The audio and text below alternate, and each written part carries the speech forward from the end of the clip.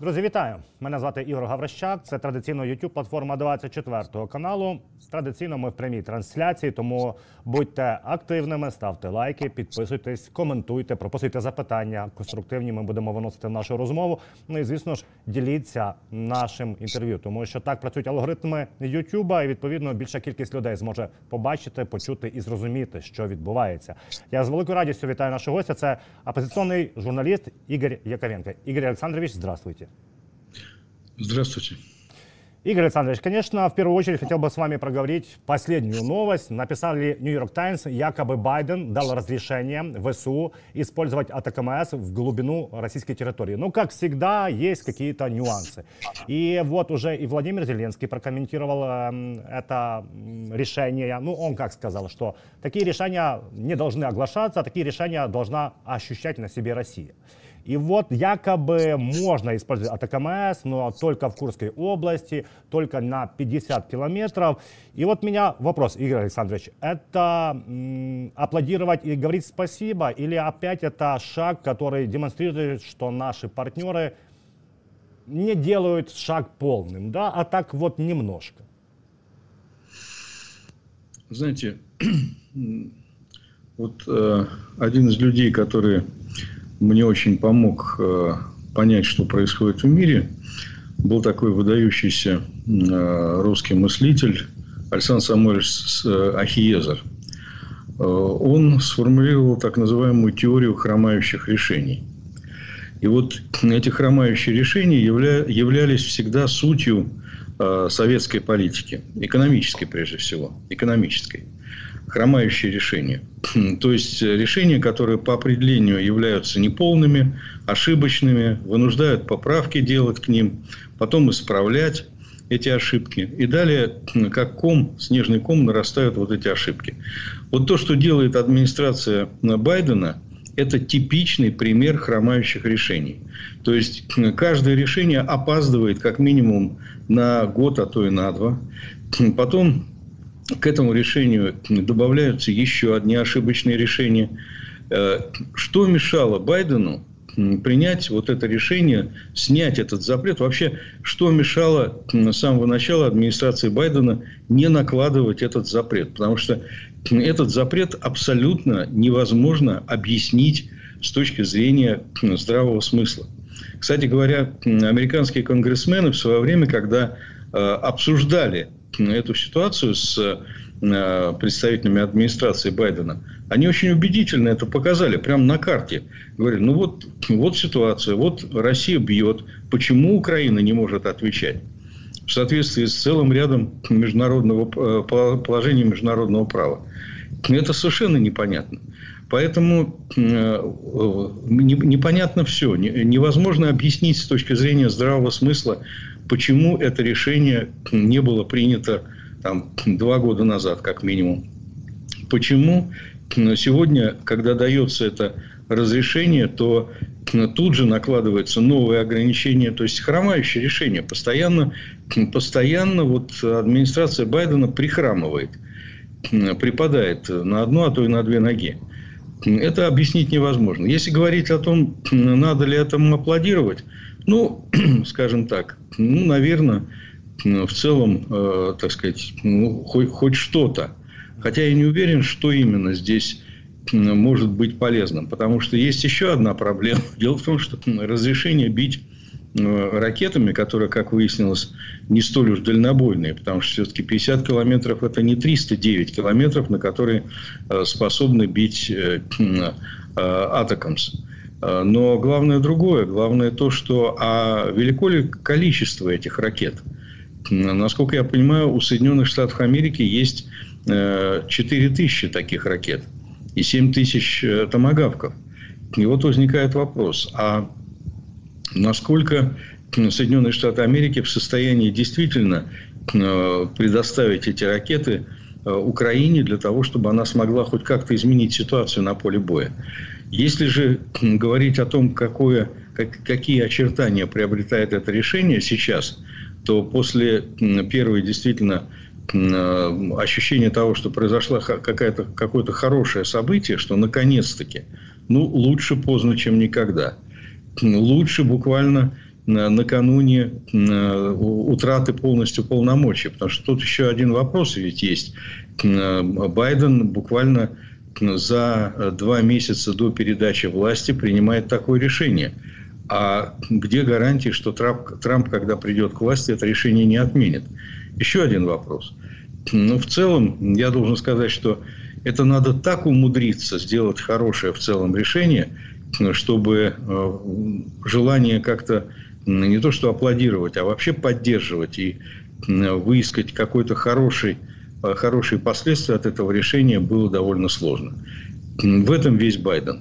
Вместо того, чтобы уйти действительно с поста президента, оставив после себя вот, э, впечатление человека, который смог, э, смог действительно помочь Украине победить самого главного врага демократии на, на, на сегодня, на планете.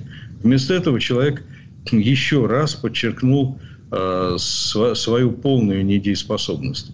Это удивительная история, просто она полностью характеризует Байдена и его президентство. Вот, Игорь Александрович, вы говорите о том, о хромые решения, и вы знаете, наверняка нельзя так говорить, но это чуть ли не в первый раз, когда вот собственно, я воспринимаю как э, есть положительное решение для Украины, а оно меня бесит. Ну реально, вот это каскад этих хромых решений они, дошло до того, что ну, не только меня, а многих в Украине уже бесит, потому что э, глобально, если говорить, э, есть страна-агрессор, есть страна, которая жертва, да, и жертва не может себя защищать, а говорят, ну вот раз можно там ударить, укусить. Э, Игорь Александрович, хотел бы, ну, мы с вами регулярно говорим о том, что Запад долго просыпается, а может он и больше э, уснул. А вот есть спич Путина в сентябре, когда он упоминал о якобы разрешении этом и последствиях. Давайте послушаем. Если это решение будет принято, это будет означать не что иное, как прямое участие стран НАТО, Соединенных Штатов, европейских стран в войне на Украине. Это их прямое участие. И это уже, конечно, существенным образом меняет саму суть, саму природу конфликта. Это будет означать, что страны НАТО, США, европейские страны воюют с Россией. А если это так, то, а, имея в виду изменение самой сути этого конфликта, Э, мы будем принимать соответствующие решения, исходя из тех угроз, которые нам будут создаваться. И несколько часов назад э, Песков сказал, э, что удары вглубь Российской Федерации станет новым витком напряженности. Игорь Александрович, ну вот Путин в сентябре говорил, что если вот так, так и так, то будет реакция. Но в Курской же операция началась раньше, она в августе началась, и тоже там были и леопарды, и другие западные вооружения тоже что-то не лепится. Тоже Кремль опасается, тоже Путин не до конца а, такой вот а, серьезный игрок и такой вот грозный, как он говорит? Знаете, здесь за всем этим, конечно, скрывается только одно. Это ядерный шантаж. Несмотря на то, что слово ядерный удар, там а, апокалипсис, пепел, там вся, всякие глупости типа пролива имени Сталина здесь не упоминаются. Это прерогатива Соловьева и вообще других обитателей российского телевизора, которые круглосуточно, в 7 дней в неделю, 24 часа в сутки говорят о необходимости э, уничтожить э, ядерными ударами европейские столицы, Америку в целом и так далее. Они это говорят в телевизор каждый день, в государственный телевизор, на минуточку. Ну, а что касается э, Путина, он тоже иногда э, позволяет себе ядерный шантаж. Но, как правило, ну, вот делает такие вот многозначительные заявления. Что может быть на самом деле? Ответ – ничего. Потому что, ну, уж казалось бы, действительно, вы совершенно справедливо заметили э, ситуацию в Курской области. Ну, уж, казалось бы, все красные линии, какие только можно – Э, Украина в данном случае перешла. Ну, то есть, э, действительно, э, немецкие танки, американское вооружение находятся на территории Курской области, что называется каноническая территория России. И ничего, впервые за 80 лет вражеские, представители вражеской армии, что называется сапог, сапог иностранного солдата топчет святую русскую землю. И ничего. Никаких неба не упало на землю, ничего не произошло. И Путин занимается только тем, чем он занимался и без этого. Он уничтожает украинские города, пытается убить как можно больше мирного населения. Но это он делает и без всяких, э, и без Курской области, и без ударов вглубь российской территории. Поэтому это все блеф. Это все, так сказать, блеф, шантаж и попытки напуга, напуга, напугать оппонентов. На самом деле, в случае э, ударов по российской территории ничего, кроме э, дополнительного уничтожения российской инфраструктуры, российского военного потенциала, ничего не произойдет. Будут, будут уничтожаться российские военные аэродромы, будут уничтожаться склады с вооружением, будут уничтожаться командные пункты и будут уничтожаться военные заводы. Это приведет только к одному – к тому, что будет сохранена жизнь э, какого-то количества украинских мирных граждан и военнослужащих. Никаких других последствий это иметь не будет. Путин не сможет больше, э, более интенсивно атаковать украинские города, потому что и так вот последние дни максимальная интенсивность обеспечивается за счет того, что он э, несколько месяцев копил эти ракеты – но ведь не было, некоторое время назад не было обстрелов э, баллистическими ракетами. В основном шахедами стреляли. А сейчас он за несколько месяцев накопил запас этих ракет и сейчас их расходует. Все, точка. Никаких вот катастрофи... Э, то есть у Путина нет э, какого-то запасного варианта, когда в случае, если Украина начнет бить по территории России, Путин, Путин значит, Э, э, что называется, расстегнет пиджак и вытащит из кармана какое-то секретное оружие. Все, что он мог, он уже вытащил. Поэтому я думаю, что э, в целом вот эта вот сверхосторожность Байдена, который вроде и хотел сделать хорошее дело, но все в конечном итоге изгадил. Это объясняется не какими-то реальными угрозами, а вот этой вот сверхосторожностью Байдена, его вечными страхами – и его какими-то комплексами, которые на самом деле отражаются на, в целом на политике нынешней администрации президента Соединенных Штатов Америки. Игорь Александрович, бывший президент Европейского центрального банка Марио Драги заявил, что смысл существования Европейского Союза оказался под угрозой. Он говорит, что Европу осаждают современные варвары, Си Цзиньпинь, там, э, да, Путин и другие, а вот европейские лидеры слишком заняты ссорами, чтобы заметить проблему и начать действовать. Ну и вот э, э, хотел бы вас точково спросить, вот Дуда говорит, что это серьезные решения, позволения ударов от КМС. Э, другие говорят, э, да, нужно бить, другие, иные говорят, нет, не, нельзя бить. Шольц там набирает Путина, говорит. Э, вам не кажется, что это немножко имитация единости, и каждый сейчас с европейских лидеров пытается как-то получить свои собственные политические баллы. Ну вот э, Шольц э, позвонил Путину. Ну что, э, и он что сказал после этого? Что Путин не изменил своего мнения о войне. Но откуда появилась мысль Шольца, что якобы что-то Путин решил иначе? Э, вы знаете, здесь по этому поводу у меня есть э, два соображения. Соображение номер один, оно не то чтобы в пользу Шольца, но оно, э, так сказать, ну как-то усложняет дело. Потому что на самом деле Шольц говорил с Путиным на протяжении часа. Ну, это известно, так сказать, это подтвердили и российская и немецкая сторона, сторона. Значит, для того, чтобы спросить не хочет ли Путин прекратить войну, вывести свои войска э, с территории Украины и получить ответ «нет, не хочу», э, значит, требуется э, ну, несколько меньшее время, чем час. О чем они говорили все оставшееся время? То есть, это вопрос. Я не знаю. Но, скорее всего, обсуждали какие-то конкретные вещи. Надо это делать или нет? Я думаю, что в конечном итоге звонок Шольца выполнил одну очень важную негативную э, функцию, а именно прервал изоляцию Путина. То есть показал всему миру, что европейские лидеры вполне могут общаться с Путиным, несмотря на то, что он совершал огромное количество военных преступлений. Поэтому в любом случае этот звонок – это плохая история. А теперь, что касается главного вашего вопроса, а именно, э, почему вот э, Европа и в целом Запад находятся в таком состоянии. Я думаю, что потому что ни у кого из них нет адекватного, адекватной позиции в отношении этой войны. То есть, какая... Ну, давайте просто немножко просто оторвемся вот от контекста и э, представим себе, что, что происходит.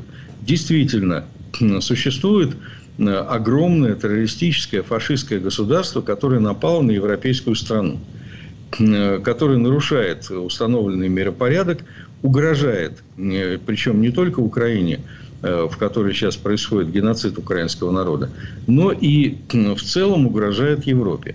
Какая адекватная реакция? Ну, такая же, как была в отношении Третьего рейха во время Второй мировой войны.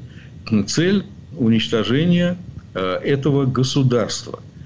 Не лично Путина, вернее, не лично Гитлера, а уничтожение этого государства. И к этой задаче приступили и стали ее реализовывать.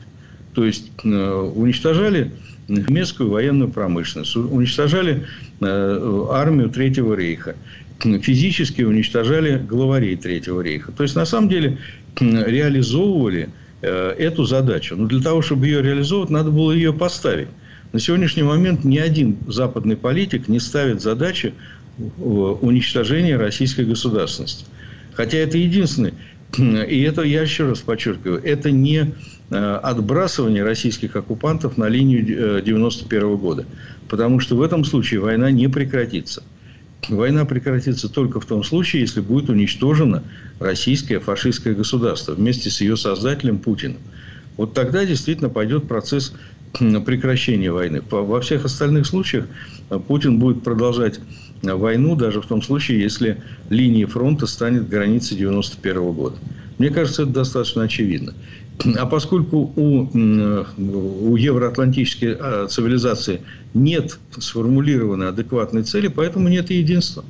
Это же, мне кажется, достаточно просто. Вокруг чего должно, объединя... вокруг чего должно э, состояться единство? Вокруг какой цели? Пока эта цель не сформулирована, о единстве не приходится и говорить. Игорь Александрович, если говорить о новой администрации Белого дома, да, 20 января придет э, Дональд Трамп, ну и уже есть некоторые заявления наближенных людей, которые не имеют должностей и, очевидно, не будут иметь. Но мы говорим о вот сын э, младший, да, Дон, э, Трамп младший, он написал текст, что дали разрешение бить по России, атака И Маск э, высмеял да, слова Зеленского, который сказал, что Украине решать, что делать Украине. И вот циничные такие э, заявления. Он написал Маск в себя в X э, соцсети, что якобы хороший э, вот юмор у президента. Нужно ли опасаться всего этого? Потому что одни говорят, что Трамп, республиканцы, это те люди, которые будут делать четкие шаги, это не демократы, а с другой стороны мы регулярно видим какие-то выбросы непонятные, да, не дипломатические, абсолютно оторванные от э, какой- какой-то поддержки Украины. И мне вот иногда кажется, что им э, многим в окружении э, Трампа просто-таки чихать на Украину и что э, в Украине умирают десятки тысяч людей. Я думаю, что ваше предположение верно. Э, дело в том, что, понимаете, когда люди, их никто не пытает, никто иголкой под ногти не загоняет. И когда люди говорят, что надо перестать поддерживать Украину, а это говорит окружение Трампа, я просто пофамильно, по именам можно назвать людей, которые так говорят – которые говорят, что надо перестать поддерживать Украину, что это вообще не, не дело американцев, что это в лучшем случае дело европейцев, а то и просто самых, самих украинцев, то ну, надо понимать, что это действительно, поскольку это окружение Трампа, то это в какой-то степени позиция самого Трампа. Тем более, что он эту позицию тоже высказывал. И мы помним весь минувший год, когда пол, ну, более полугода Трамп лично по своему капризу блокировал э, помощь э, Соединенных Штатов Америки Украины. То есть это, это было, это мы все видели, никаких секретов здесь нет. Поэтому я думаю, что в целом э, приход новой администрации скорее больше проблем создает для Украины, чем способен ее решить, тем их, их эти проблемы решить. Тем более, что идея Трампа закончить войну за 24 часа, она не только уже не реализовалась, она, скорее всего, все-таки не будет реализована, потому что слишком велики противоречия между российской и украинской позицией. Ну, вернее, между путинской позицией и позицией Украины. Поэтому я думаю, что сблизить их не удастся. Э, никаким давлением, никаким шантажом, э, я думаю, что Трампу не удастся договориться с э, Украиной, чтобы кто-то от имени Украины подписал соглашение о передаче, например, Путину Запорожья и Херсона. Я не могу себе представить такого человека в должности какого-то государственного деятеля украинского. То же самое я не могу себе представить, чтобы Трамп смог заставить Путина уйти с, э, вывести свою армию с украинской земли.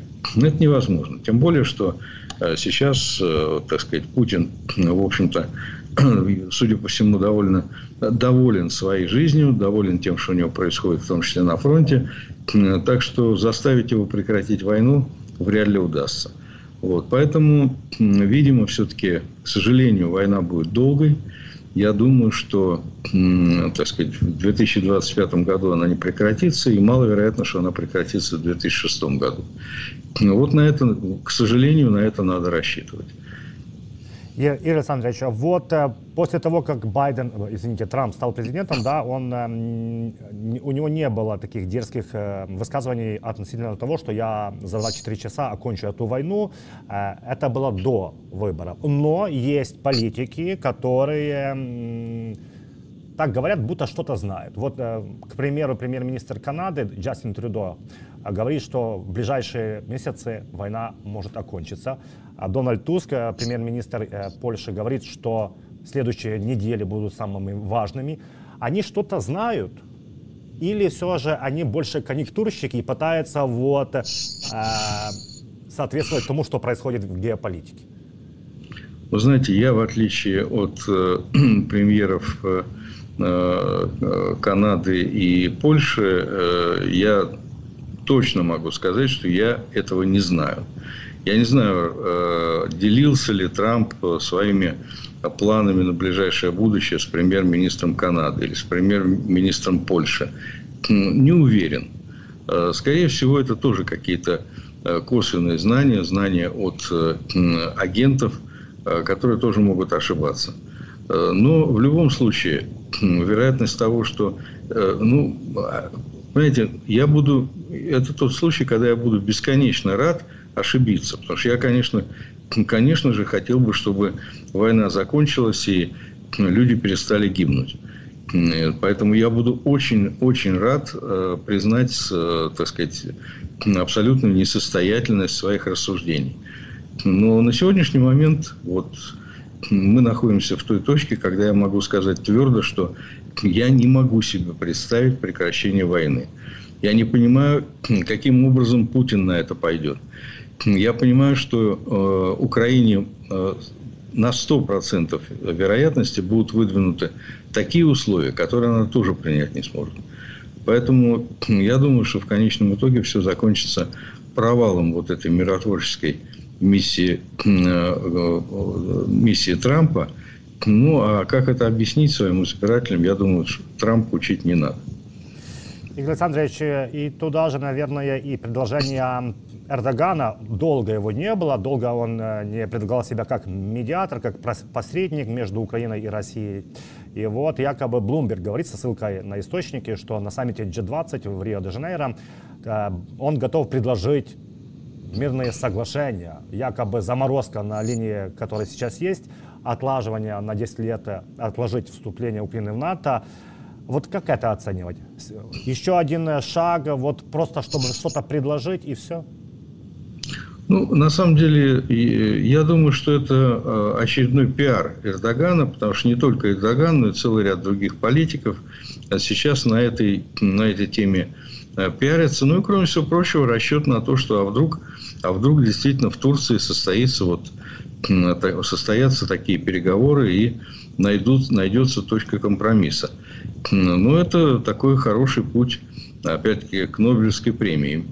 Э, мира. Так что я думаю, что они э, понимают, зачем они это делают, что они делают. Тем более, что у Эрдогана э, не очень простая ситуация внутри страны.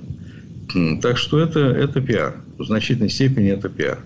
Расчет за счет, надежда за счет Украины получить какие-то серьезные дивиденды. Материальные или моральные.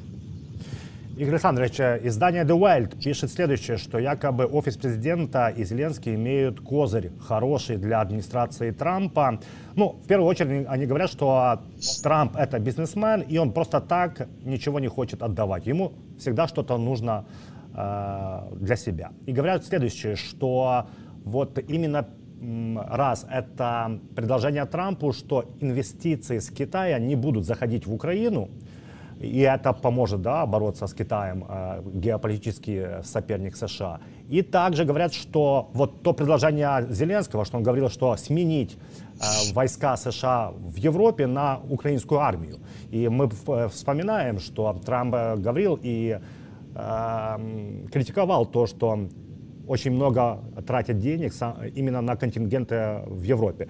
Насколько вы считаете, это правильный подход? Насколько реально можно вот так вот разговаривать с Трампом, с республиканцами и выбивать для себя э, хороший результат? Вы знаете, здесь э, только, только одно. Украинская дипломатия, э, ну, несмотря на то, что украинская дипломатия существовала всегда и в период Советского Союза, Украина обладала, так сказать, некоторыми прерогативами большими, чем другие союзные республики. Но, тем не менее, украинская дипломатия, она молодая. И э, главной причиной ее молодости – это то, что никогда Украина не была вот таким глобальным игроком. Э, сейчас она очень резко повышает свой статус, э, превращаясь действительно в глобального игрока. У Украины никогда не было достаточно серьезной сформулированной китайской политики, не, не было э, африканской политики, латиноамериканской политики. То есть, на самом деле, это все приходится создавать с чистого листа. Поэтому огромное напряжение для, на плечи украинских дипломатов сейчас выпало. Что касается вот вашего вопроса, я думаю, что, к сожалению, украинские дипломаты часто эмоциональны и Э, допускают какие-то грубые выпады против э, правительства тех стран, где они находятся. Это издержки роста. Насколько можно требовать, я думаю, да. Но искусство требовать э, в условиях, когда тебе вполне могут, реально могут отказать, это отдельная технология. Поэтому я думаю, что в целом, безусловно, Украина имеет полное право Э, требовать от э, западных политиков э, усиления своей позиции, но опять-таки делать это надо дипломатическим путем. Не так, как, скажем, высказывался одним из, один из послов Федеративной Республики Германии о Олафе Шольце, к которому можно относиться как угодно, но это, это мы с вами имеем право говорить все, что думаем да. о европейских и американских лидерах. А государственные чиновники украинские, начиная от президента и кончая любым сотрудником посольства, такого права не имеют. Игорь Александрович, Тысячи россиян прошли маршем через центр Берлина, требуя вывести войска России э, из Украины. Это был марш, который возглавили жена покойного Навального, Юлия Навальна, Карамурза и э, Яшин, да, бывшие политзаключенные. Они требовали, вот я говорю, да, вывести войска э, и свергнуть Путина. Вот есть реакция главы офиса президента Ермака. Он говорит следующее. Единственный путь спастись – это э, проводить протесты против э, войны в Москве. Если же это нет, и россиян устраивают преступления Путина, они с ним одно целое. Вот у меня, у меня вопрос. Э, э, как вы это оцениваете? Потому что ничего не делать тоже э, как бы это ноль, да, хотя бы вышли, заявили что-то тоже хорошо, но как оно повлияет, конечно же, никак. Вот как вы оцениваете такие действия? Я думаю, что позиция главы Офиса Президента Украины понятна, но ошибочна. Я думаю, что призывать э, граждан России выходить в Москве, ну, это значит не, просто не понимать ситуации, которая складывается в Москве, потому что выход на подобного рода протесты э, в Москве для участников этого, этого, этих протестов означает немедленное отправление их всех в тюрьму.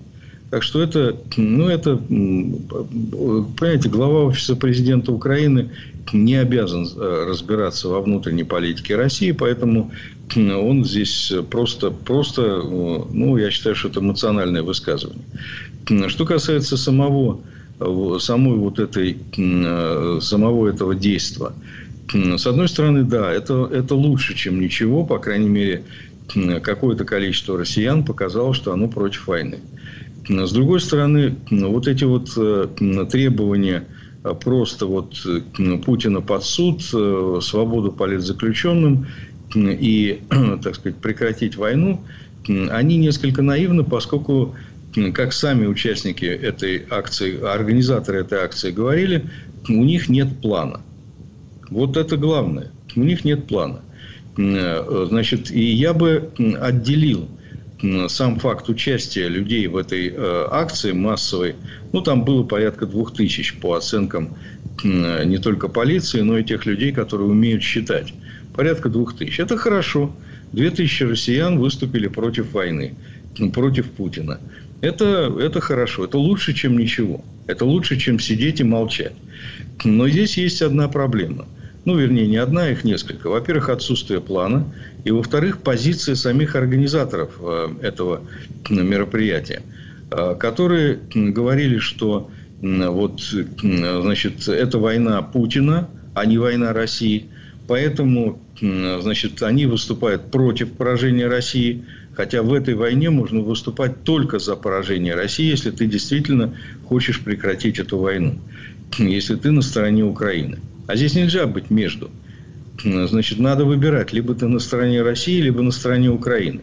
Вот, к сожалению, и Юлия Навальная, и Илья Яшин, и Владимир Карамурза, они все-таки пытаются быть на стороне России. Э, ошибочно абсолютно, представляя себе так, что именно они представляют народ, э, народ России. Об этом, кстати, прямо говорил Илья Яшин – говорил о том, что Путин это не народ России, а вот я это народ России. Это ошибка. Я понимаю, что в митинговом в митинговой патетике, в митинговом пафосе не то скажешь. Но, тем не менее, все-таки даже в таких условиях надо ну, как-то находиться в рамках, находиться на, на реальной почве. Конечно же, э, и достаточно посмотреть геолокацию. Путин находится в Кремле, и он э, полностью контролирует Россию. Поэтому Илья Яшин выброшен за пределы России. Так же, как и я, так же, как и другие российские эмигранты. И поэтому ответ на вопрос, кто представляет Россию, конечно, Путин в большей степени представляет Россию, чем мы с Ильей Яшиным. Это дезинформация. Это серьезная дезинформация. Поэтому, когда та же самая Юлия Навальная говорит, что, отвечая на вопрос, надо ли помогать Украине оружием, она говорит, ну как же помогать, когда эти, из этого оружия будут убивать русских. Ну, тогда, значит, извините, треб... когда они высказывают, а Яшин накануне этого марша сказал, что благодаря этому маршу мы теперь сможем с западными политиками говорить на, э, так сказать, от имени участников этого марша. Но вот я не уверен в том, что многие участники этого марша согласятся с тем, что Украине не надо давать оружие. Я не уверен, что многие участники этого марша согласятся с тем, что войну это ведет Путин, а не Россия. И виноваты здесь не, э, только Путин, а не Россия. Это ошибочная, ошибочная позиция, дезориентирующая и фактически позиция капитуляции. Потому что войну, конечно же, ведет Россия. и целью должно быть поражение России. Люди, которые этого не понимают, в данном случае не являются теми людьми, которые в состоянии что-то делать в направлении завершения этой войны. А, поэтому вот отношения довольно двойственные. С одной стороны, хорошо, что вышли, с другой стороны, плохо, что нет плана, и плохо, что есть представление о том, что на самом деле они как-то представляют Россию. Это большая ошибка. Они все считают, что они находятся в электоральной ситуации. Что они в ближайшее время или когда-то вернутся, примут участие в выборах, и, соответственно, Юлия Навальная станет э, президентом, э, значит, там Яшин премьер-министром и так далее. Это серьезная ошибка, которая в том числе способна дезориентировать и западное общественное мнение. Игорь Александрович, вот издание Bloomberg пишет, что КНДР может э, отправить на войну против Украины 100 тысяч корейцев. Э, я когда прочитал, я подумал, ну не, ну бред, ну 100 тысяч, да, ну там 10, 20, 30, ну 100 тысяч. А вот если подумать, э, вот как раз те 12 или 10, кто как говорит, на кого ссылаясь, корейцев, которые якобы уже есть и в Курской области. И мы с вами в предыдущий раз тоже это проговаривали, что реакции ну, никакой фактически нету э, в Запада. И мы с вами говорили, что глобально, если посмотреть, это с какого-то континента, как какие-то юж... э, северные корейцы э, идут в Европу убивать людей, которых никого, ничего о них не знают, да, с какими нету ни конфликта, ни, ничего. И я здесь понимаю, ну 100 тысяч тогда можно и кинуть, а чего нет?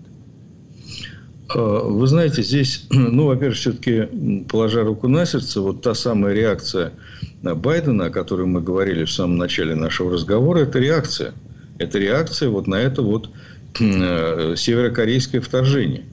Ну, а как иначе? Если он действительно, так сказать, снял запреты и исключительно э, по поводу присутствия север... северокорейцев на территории Украины. Предполагаемого присутствия, поскольку пока не... на, на Украине их нет, они есть в Курской области. Поэтому все-таки реакция есть. Она, конечно, вялая, недостаточная, но тем не менее она какая-то есть. Что же касается 100 тысяч, тут есть логистические проблемы. Я не уверен, что 100 тысяч, вот, э, ну, можно просто посчитать количество вагонов, э, которые необходимы для переброски 100 тысяч э, северокорейских воинов на территорию Курской области или на территорию Украины. Я думаю, что логистически это очень-очень сложно. Во всяком случае, если этот процесс будет запущен, то это, скорее всего, 100 тысяч в течение, там, я не знаю, года э, ближайшего. Может быть так. И тогда это все, эта цифра, она выглядит иначе. Тогда это будет просто компенсация э, тех естественных потерь, которые идут, идут сейчас у российской армии. То есть эти 100 тысяч – это ну, например, по 10 тысяч в течение 10 месяцев.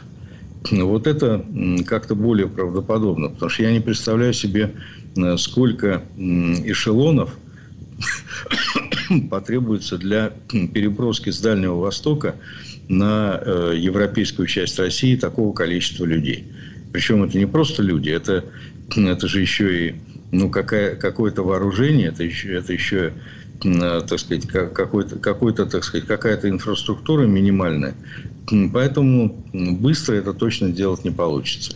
Ну, а в течение года вполне возможно, учитывая то, что значит, у Ким Чен Ына, насколько я понимаю, четвертая армия в мире по численности, там э, миллион, миллион четыреста, четыреста тысяч, насколько я, насколько я помню.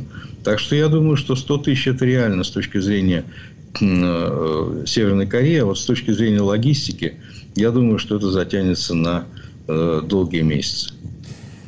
Игорь Александрович, если говорить о внутренних процессах в России, вот э, регулярно тоже мы разговариваем и с Игорем Липцицем, экономистом, который объясняет и все расталкивает и показывает, что все реально плохо, очень плохо в экономике, и там Набиулину э, хотят, не хотят уволить, потому что нужно найти козла отпущения, потому что учетная ставка растет бешено и там э, сливочное масло пропадает, да, там НПЗ не работают.